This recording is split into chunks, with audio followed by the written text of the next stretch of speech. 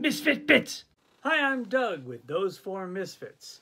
For my 20th Misfit bit, I've decided to do a salute to 420. Enjoy!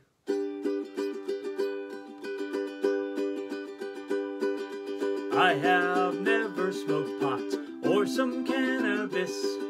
I've never had Mary Jane and said this is goodish.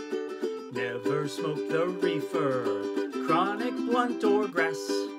Ganja, doobie, roach or kush, marijuana or hash.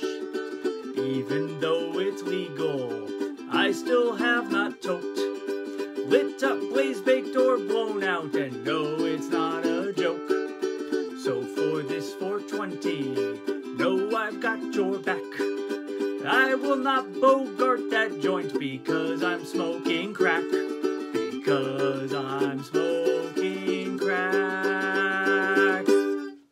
See you next week. Because